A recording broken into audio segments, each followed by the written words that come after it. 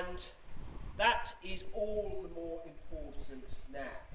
As I sat at home watching those results coming in in the early hours of February the 24th, I, I felt a shudder down my spine that all of you will relate to because Europeanism, our internationalism, goes to the very heart of what Liberals and Liberal Democrats have fought for and stood for for generations. It was, I'm reminded of Jo Grimond a few moments ago. It was in his time, the first time, the European issue was put to a vote in the House of Commons.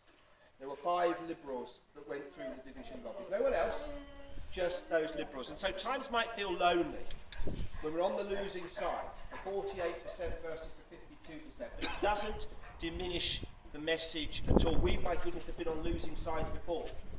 And we have, have fought.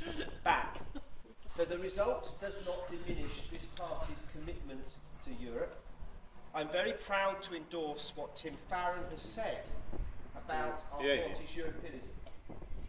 It is tinged with one thing, and that is respect for those that voted a different way to us, because there will come a time when we may well need many of those people to be back with us. we can talk about the campaign, there is much to say about the campaign, but we may well be in a position when we need to influence that debate at the ballot box again, whether that be a general election or a second referendum based on fact. We don't know how that's going to go. We have matters beyond our control with other two political parties that have to be dealt with first. But I want to just use this opportunity to reaffirm our commitment, our party's belief in the European Union and our full participation. You can't travel through the mountains of the Cambrian Mountains from this constituency, Ceredigion to Brecon and Radnorshire and beyond to see the importance of the funding which we have secured, let alone the great international principles on which we stood for generations. You can't go to the South Wales valleys and not see the significance of Objective 1 and convergence funding.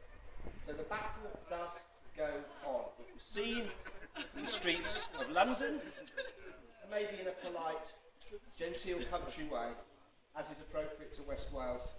We're showing it here this afternoon. So with that, can I just say, please, thank you very much. Please plod on, all of us plod on with renewed energy, because I, I have a passion about this party, and I know you do too. We're not going anywhere, nor the central creed of our 本当だ。